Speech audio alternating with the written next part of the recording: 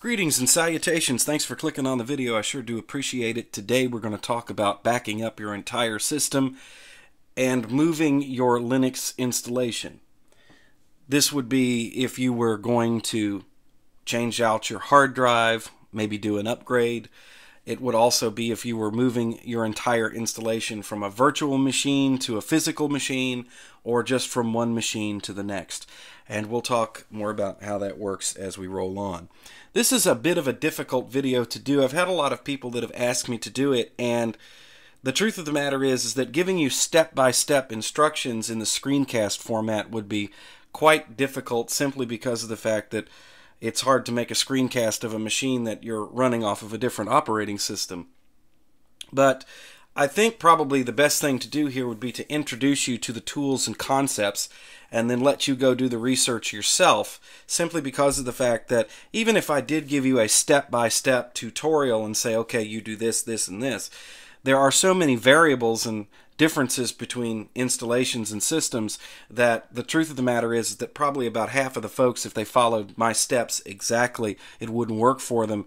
And for me that would generate a lot of people asking questions like why doesn't this work? And I couldn't answer them simply because I didn't know the details of their system. So this video might be considered for slightly more advanced users. And even if this is something that you don't want to do it's kind of nice to know that the option is out there to actually make this happen. So let's talk about the inspiration for this video. I got a comment from Amandeep, and what a nice name that is, and I hope I pronounced it correctly. Uh, he says, Hello, thanks for the video. I've installed Ubuntu using instructions in this video, but now I want one more hard drive in same HDD to save backup of my installation. Like in Windows, we can make three partitions one for the OS installation, the second for storing personal files, and a third one we use to make system images or backups of OS on same hard drive. How can you do this in Linux, basically, blah, blah, blah. Well, I answered him by telling him that I didn't think it was a good idea to do that, and I, and I don't anyway. The reason why Windows does this is because of the fact that they do not ship installation media with Windows anymore. When they started with Windows 7, if you go out and you buy a Windows machine, chances are you will not get a DVD or a CD or anything that will help you to re um, install that operating system if something should happen. So their way around this was was to put this rest uh, recovery partition on the hard drive in another partition, and then you would have to create a disk, a recovery disk, a boot disk for Windows, and use that to use the recovery partition to reinstall to the main partition. If you use the same physical hard drive to back up anything, and that hard drive quits working, it crashes, you've lost not only your primary data, you've lost your backup at the same time. So this is not a good idea. And like I said, that's the reason why Windows does what they do. And in Linux, you couldn't actually use that recovery partition to do anything useful. You have to install Linux from media. You can't do it from the hard drive itself. There's no way to do that. So what's the point in in making your layout more complicated to begin with when it's not going to do that same sort of deal? So once again, Amandeep, I appreciate your comment and please don't take this the wrong way, but this is another example of a Windows user who comes to Linux and then overthinks the system. Okay? Don't do that. It's much simpler, and we're going to talk about uh, the simple ways that you can do the backup. The truth of the matter is, basically that um, when we talk about doing backups in Linux, what's really important to back up are, is your personal files. The configuration of the software on your computer is really not that big a deal. As a matter of fact, if you did do a complete total system backup like I'm going to show you, chances are it would take longer to do that than it would to just reinstall Linux and move your personal data from your home folder backup into the system. So I don't even bother with this. I don't keep disk images around, nothing. I will just rebuild the system. It's no big deal. But we'll talk about doing it anyway. So let's talk about the tools that we're going to use. The first tool we need to talk about is an excellent open source program called Clonezilla, which allows you to make clones of hard drives or partitions on hard drives. And it will make it possible for you to take an entire computer, even if you have your hard drive set up in a uh, situation where you have a separate root folder and then you have a separate home folder, you can tell it to clone that entire drive and it'll take all of that data and put it into a file and then you can put another hard drive in the machine or go to another computer and then you could dump all that data back into that system onto the main hard drive in it and it will boot up. So what I suggest you do is that you go and you look at the Clonezilla site here. It's clonezilla.org, and you read up on it. There's a lot of really good documentation, documentation, and the main thing to make this work is to use a lot of planning. You have to know what you're trying to accomplish. If you know what you're doing, then you'll be able to find a procedure to do it. This is yet again another reason why uh, I can't give you a step by step because my example might not be what you actually need to do to get things done. So go to the Clonezilla site and you can read up on that. So let's jump over to the desktop here and we're going to take a look at Clonezilla in in the flesh. We're not actually going to use it, but we're going to boot it up and we're going to I'm going to show you a couple of things and so therefore you know how it works. So the basic thing that you're talking about doing here is you want to boot the computer that you want to make a backup from off of the Clonezilla image. So when you go and get Clonezilla, you get an ISO file just like you would if you were going to install Linux. And you burn that to some sort of media, like a USB stick, or uh, I use a CD simply because Clonezilla is really small. And then when you're ready to work with it, you just drop it in and boot the computer up from that instead of the operating system that's on it. So we're going to go ahead and boot that. Now, for those of you who are thinking about trying to move Linux from one computer to the next, it is very possible to do that. You could never, ever do that with Windows.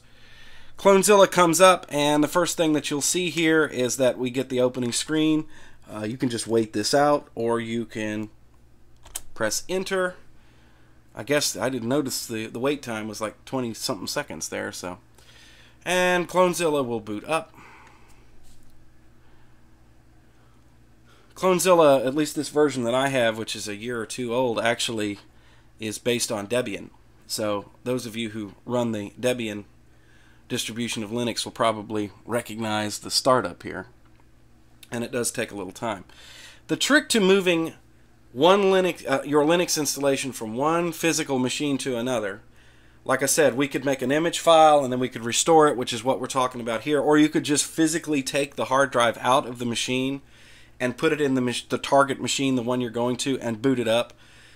The, the, to make that work, you have to make sure that you have no proprietary drivers installed on that system.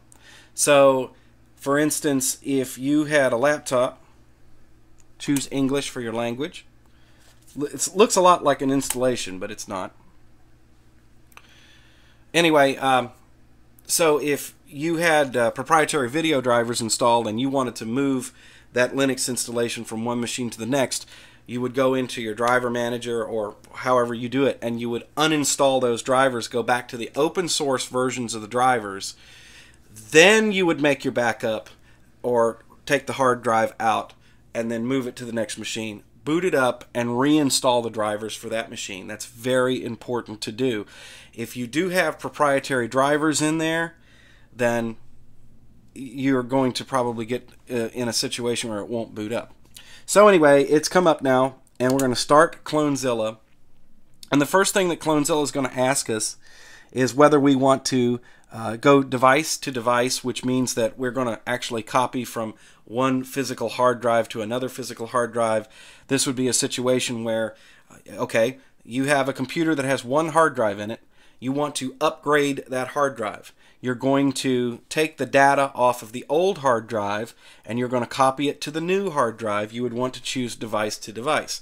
If you wanted to create an image file on an external storage device like a USB drive, then you would choose the first option. So we're going to go ahead and choose that. We're going to go about as far as we can with this. There's no USB device hooked up to this, so we can talk about some of the, the options here. Most people will use a local device, which means that you're going to plug a USB drive into the computer, but there are others here. You can use as an SSH server. Uh, you can use Samba. In other words, you could do this over a network. You could turn this loose, and if you had another machine that was on a Samba network, you could give it a destination, um, a Samba file, and it would actually put the backup on another machine on the network. Of course, if you had a slow network like a wireless network like I do, which is really kind of slow, this would probably not be a great option because it would take quite some time to move all of the data from one computer to the next. And if you had NFS installed, which is the Linux only file sharing system, you could use that. Uh, and of course, dropping down to a command line. So basically, this is about as far as we could get, I think, because the next thing it's going to do is it's going to look for devices hooked up to the machine and in the case of this virtual machine, there's only one, and that's the hard drive. So, yeah, this is where you would plug in your USB device, and then CloneZilla would find it, and it would present you with a list so that you could uh, tell it where that goes. So this is about as far as we can get here in this particular deal, as far as showing you how CloneZilla works, uh, simply because of the fact that passing a USB device through my virtual machines here is difficult. So you get the general gist. And if you follow the default settings and if you've read the documentation, it will work for you. You will actually be able to create that image. So once you get CloneZilla actually to have created the image, you should have uh, a pretty large, uh, it should be a, a directory on your backup drive that is pretty large. It will you have to keep you have to figure out how much data you have on the machine, okay? So, for instance, let's use a tool here to see if we can figure that out for this installation if we were going to try and clone it. And uh, the tool that you can use in um, Linux Mint and Ubuntu is disk usage analyzer and it's going to go through and it's going to look at all the drives on this system and then you can uh, see exactly it'll give you numbers. You'll know what it is because you're going to have to have enough storage space to store all of the information on the system. You're going to have to have that. So get familiar with this program. And we're assuming that you have one device in the system that has partitions on it okay? Now, as you might recall from my installation videos, if you watch those, I encourage you to create the root partition first, then the swap partition, then the home partition. The reason why that is, is because you can resize that home partition. Because if you're going from one drive to the next, probably what's going to happen is, is that you're going to go from a smaller to a larger drive, and you're going to want to take advantage of that space. And you're going to have to resize that partition. If you use the standard partitioning scheme that Linux uses, what's going to happen is you're going to run into an issue where um, you can't move it because the swap partition is at the end of the drive. So if you installed your system and then you chose the option to erase the drive and let Ubuntu automatically or Linux Mint automatically partition the drive, what it did was is it created a partition at the very end of the drive for the swap file and then it made one big partition for the rest of the space from the beginning to the up to where the swap partition begins and that was your uh, slash partition or your root partition and then everything went into that so the problem with this is now you can't resize that because that swap partition is in the way so the only thing that you would be able to do is you'd have to go in and you'd have to remove the swap partition and it would be like Okay, so you'd have to turn the swap partition off. You would have to remove it from the disk. This is before you did the backup. And then you would have to make your copy and then you would have to figure out how to manually restore that swap part. It gets messy. You, you can see what we're going with here. So that's why I always said create a separate home partition and make sure that that home partition is the last partition on your drive. All right. So, by the way, this disk usage analyzer program, um, it will if it, there's a part of the system that it can't read, it'll come up with that error, and that's usually because of permissions. So you could run it with um, privileges, and it's still going to give you a pretty good idea of how much uh, space you have on the drive. So let's go ahead and shut down this machine.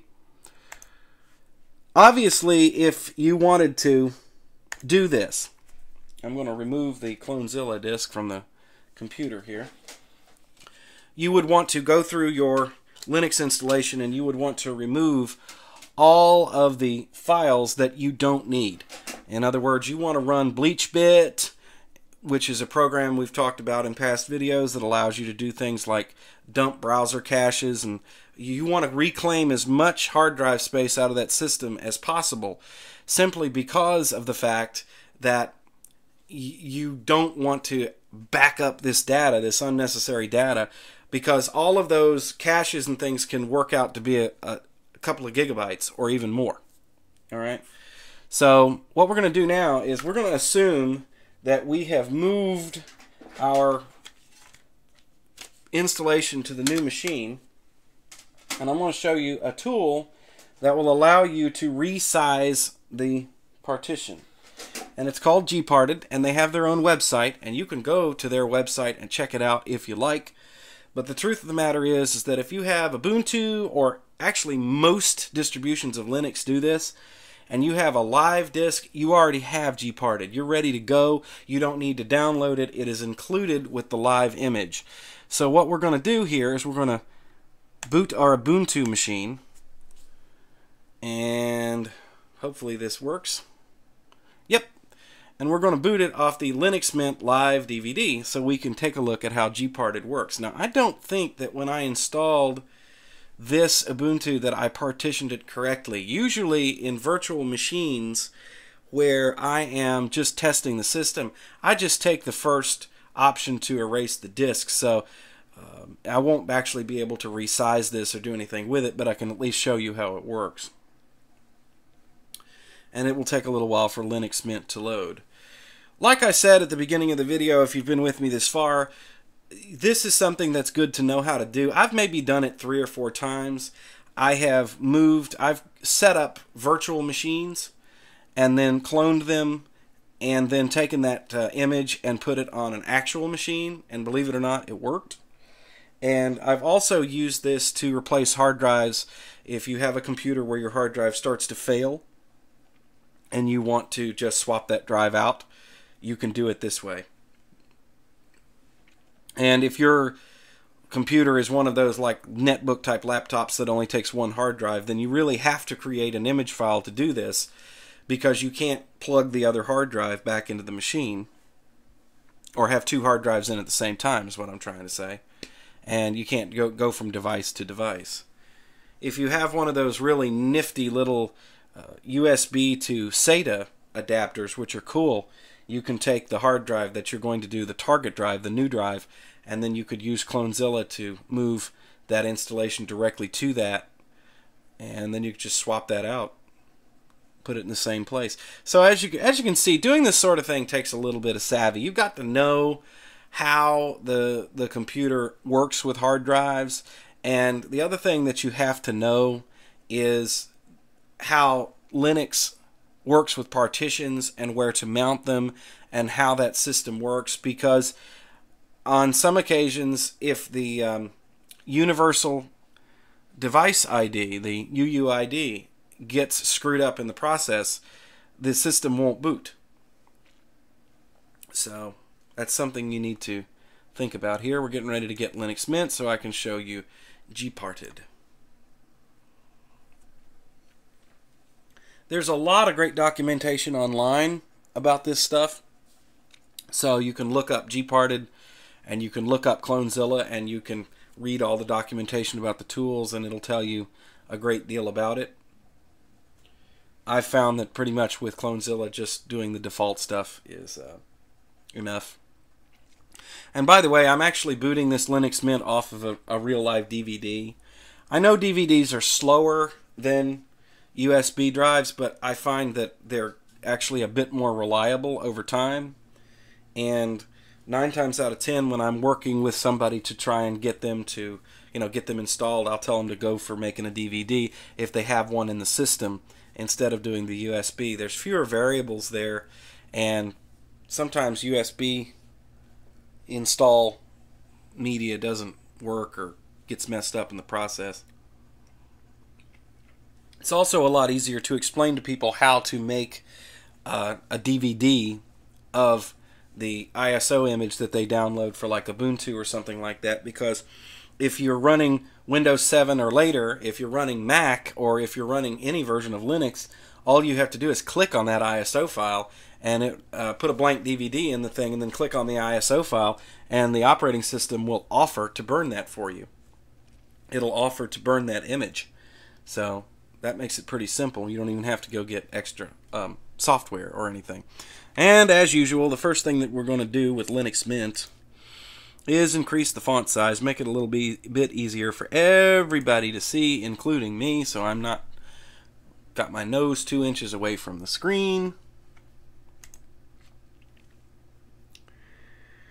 Let's see here, just scale this up.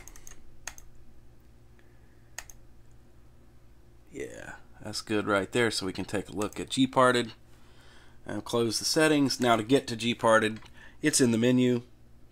Usually when you install your Linux distribution from your live environment, like the one we're working in here, then the um, Gparted program doesn't come over to the installed installation.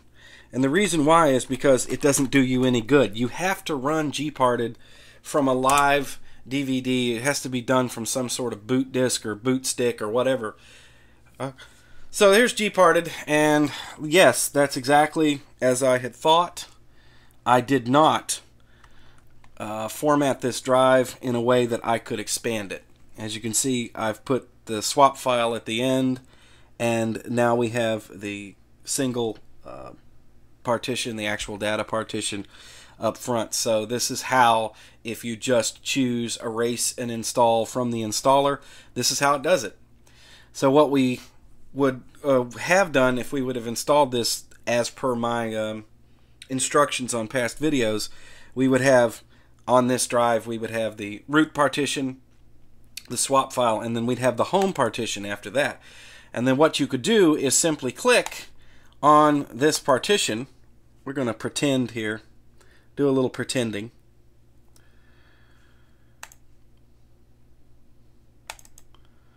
And uh, I was trying to see here.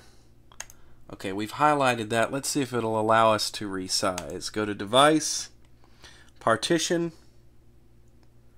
and for whatever reason, it is ghosted out and it's not going to let me do it. Think probably because it is the root partition. Not going to allow me to do that. Let's see if it'll allow me to work with the swap partition. Nope, it knows it's swap, so it'll allow me to turn the swap off. So yes, this is only going to do this with like a home partition. If it, uh, it's not going to let me resize this. Mainly because if you resize the root partition, it might change the UUID and then the system will not boot. It could be the reason why they did this. So yeah, so it would only be the home partition that you would be able to resize easily anyway. I'm sure there's a way to actually resize it if you wanted to, but you probably have to go in and change permissions or do something crazy, and it probably gets pretty deep. So yet again, another reason when you install your Linux systems to make sure that you have a separate home and a separate root partition and make sure that the home partition is the last one on the drive.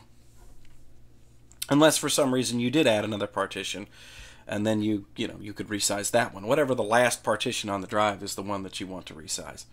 So that is what uh, gparted looks like which is basically what I wanted to do there was show you that and you can play play with this. By the way, just just um, uh, you know, this goes back to what I always say about having a junk computer to play with. Because if you had an actual machine that you could just install Linux on just to play with doing this, it would make it easier to learn how to do. So uh, the problem with doing stuff like this always is the fact that we don't do it all the time, and so we're always kind of learning it every time we come across it. I don't think there's many people that make ghost images of their computers and move them to other machines or uh, have to do that in any way. Of course, um, one thing that you could do is is that it's an idea is that it, let's say that you had a, a, a service that you were providing to people where you would load their machine with Linux, you could create an image, a generic image of Linux the way you want it set up for them, and then you could just plug it in and dump it onto their computer, and if it boot, then boot it up and uh, install the drivers and hand it to them. So it's another way of distributing the operating system if you wanted to do that. So there's all kinds of possibilities with these tools. And of course, I must tell you straight up right now that when you are uh, doing this sort of thing, there is always the danger that you're going to lose your data. When you're moving big chunks of data around, there's a lot of uh, possibility that you might have errors. And if for some reason you corrupt your image files or something like that, you lose it. So, this is not something that you want to do casually. You want to take your time to figure this out probably want to do a traditional backup of your, of your data too using grsync i'm going to put a link to my original video about backing up with grsync in the description for this video. We'll also have links for clonezilla and the gparted site so you can go through and check that out. So scroll down to the bottom of the, uh, the description there and you'll see that and then you can go out and learn. So this is how you would do this. This is how you would proceed. Not a step-by-step tutorial tutorial but it is just me showing you the basics of how this works and you can take it from here and apply it to your own needs and learn more which is really the way you know it's supposed to be. I think I've pretty much covered everything I wanted to cover in this video. Thank you very much for watching. Be sure and check out freedompenguin.com also check out ezeelinux.com if you would like personalized installation support. If you want to get started with Linux and also check out the EzeeLinux page on Facebook. Unlike most business related pages, the EzeeLinux page on Facebook allows you to comment and um, actually hoping that at some point that that'll kind of catch on. We can get a community going over there and people can uh, comment on things. I post a lot of, um, of course, these videos and things that I find, articles from Uh, other sources that I find interesting on EzeeLinux. So be sure and check that out. And I would appreciate the li- appreciate the like an awful lot too. So thank you for watching, and we'll talk again soon.